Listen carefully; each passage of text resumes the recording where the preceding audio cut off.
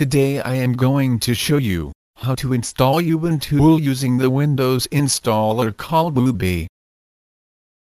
This will install Ubuntu on your computer like any other Windows program.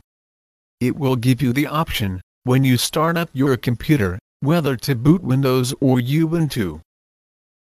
If you decide Ubuntu is not for you, you can easily uninstall it in the Windows control panel, which I will show you at the end of this video. To get started, put your Ubuntu CD in your CD drive.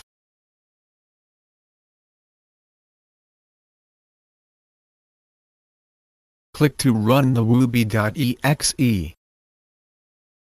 If the CD auto run didn't pop up, go to computer and click the CD there.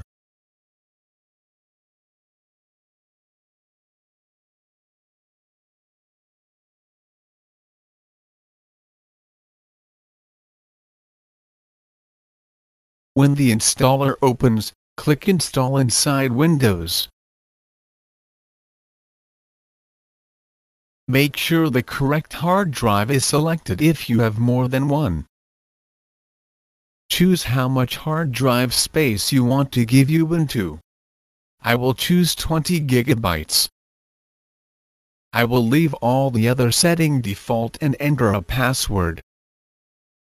Click Install to begin the install process.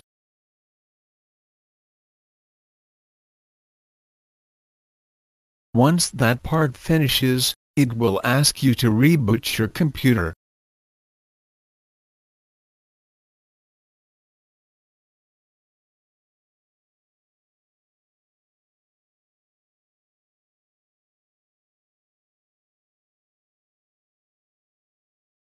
When you reboot your computer, you will get this screen.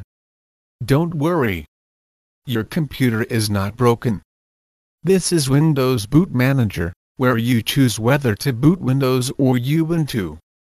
Arrow down and hit Enter to select Ubuntu to finish the installation.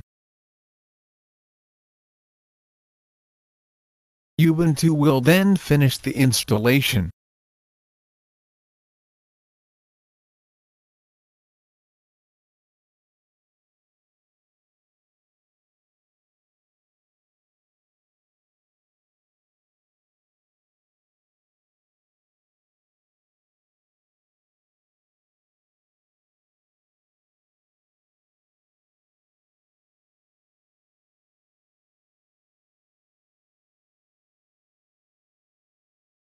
Once the installation is complete, your computer will reboot. We will now choose to boot into the freshly installed Ubuntu.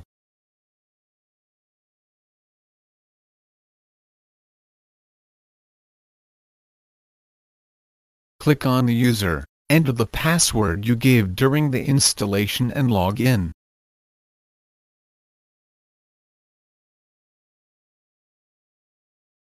You now have Ubuntu installed on your computer. I will now show you how to uninstall Ubuntu in the Windows control panel like I mentioned at the beginning of this video. This time, hit enter with Windows highlighted to boot into Windows.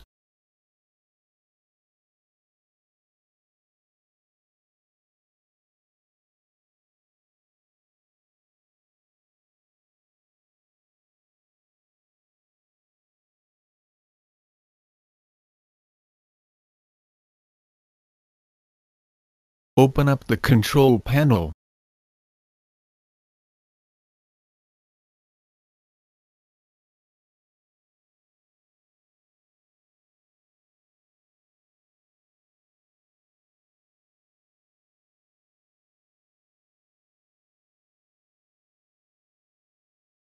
Click Uninstall a program. Click Ubuntu and click Uninstall.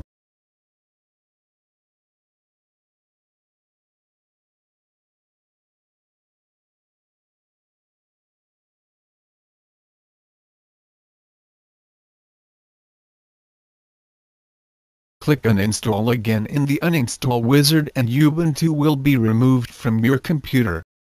Your computer will be back to the way it was. Thanks for watching.